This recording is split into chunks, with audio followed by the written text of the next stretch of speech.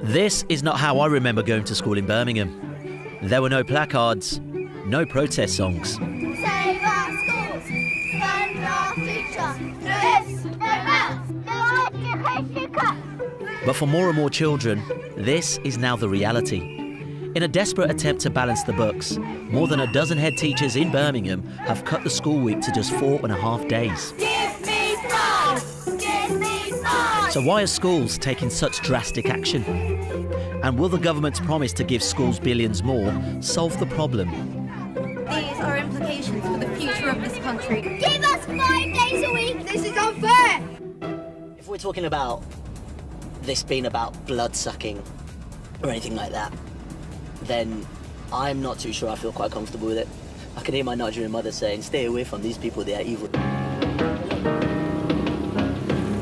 So there's technically no one on the island? There's no one, you know, just marine iguanas. So is that the safest war ever seen in the history of the world? yes, there's been no shooting so far. There's no one to shoot at.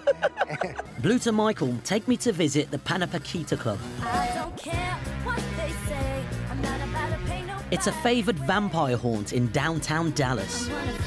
That was a surprisingly enjoyable experience. It really was. But what I'm not looking forward to is what's about to happen now. He's about to feed off her. And as wonderful as they are as a couple, I'm not ready for the blood, man. Hello, Ayo Akinwolere here for Inside Out West Midlands. So glad you could join us. So, for our first story this evening, we're looking at universities because half of young people in England go to uni. But for Romani Love from Birmingham, it didn't live up to her expectations. As a black woman, she thinks many black students just don't think uni is for them. So we asked her to tell us why. And here's what she had to say. See, How many of you guys are Muslims? When you see that stuff on extremism and terrorism, how does it make you feel? Like, because you guys seem like peaceful guys to me. Man. It, it actually makes me angry when I see when I see these guys um, and and they're creating a bad name for us. I actually look at the TV screen and I think, you know what, I want to punch you on.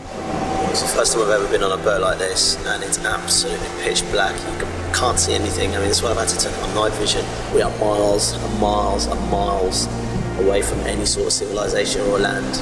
I'm really scared. I'm really scared a little bit. Um, but I just want to take this on because I know when I finish it, I'm going to feel so good. I'll see for myself the stunt riders in action.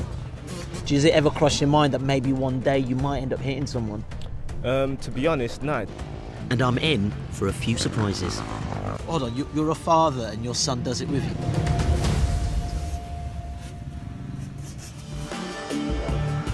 They seem to be everywhere, but what are they?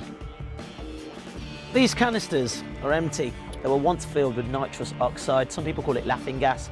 They are used as a quick way of getting high.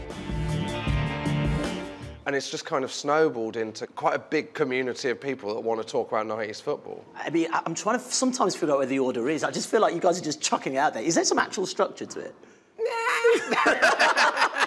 The great thing about the pop fan zone, and later on, this place is going to be absolutely heaving with loads of rugby fans. There's going to be food, there's going to be live music, and there's going to be the odd beer flowing as well. And look who I'm joined by two very wonderful humans Big Tackle Ferry, at Nolli Waterman, and also local lass Sarah Hunter, MBE, and England captain as well. Now, you guys are on the coffees a bit too early. Is this just nursing a hangover from last night, or what are we doing? No, just a bit of caffeine to kickstart the day, you know? keep pushing our, our, our youths into the right direction. So we got the campaign Think Outside the Blocks.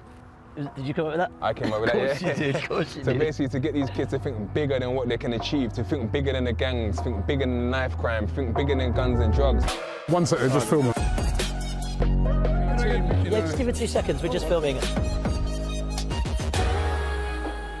Robbie, we've barely walked five minutes, man, and you're being mobbed by so many people. Did you realise it was going to be so popular with so many fans? No, I didn't. I mean, I knew, I've, I've always thought at the beginning that it'd be, be popular because obviously it's a huge club. What about away fans? Let's say you're at United now. Do they hmm. come and want a picture as well? Yeah, yeah. Away fans are, great as well. I'd say practically every ground that I go to. Even at Tottenham? Well,